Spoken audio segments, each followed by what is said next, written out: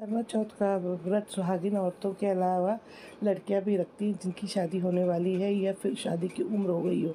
ये व्रत निर्जला रखा जाता है और शाम के समय शुभ मुहूर्त कर चंद्रमा को अर्घ देकर व्रत खोला जाता है। करवा चौथ पूजन सामग्री में चंदन, शहद, अगरबत्ती, पुष्प, कच्चा दूध, शक्कर,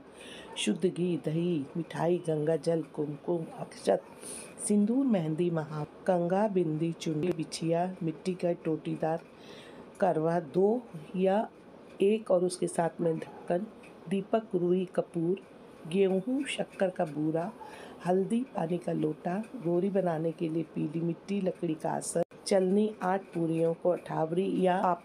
चावल की पिन्नी रख सकते हैं, हलवा, दक्षिणा के लिए पैसे। व्रत की पूजा में माता पार्वती को सभी श्रृंगार की सामग्री अर्पित करते हैं और मिट्टी के कर्मे में जल भर के पूजा स्थान पर रखें। अब भगवान श्री गणेश, माँ गौरी, भगवान शिव और चंद्रदेव को ध्यान करते हुए करवा चौथ व्रत की कथा सुने। चंद्रमा की पूजा कर उन्हें अर्घ दे, फिर चलने की ओर से चंद्रमा को देकर उसके बाद अपने पति का चेहरा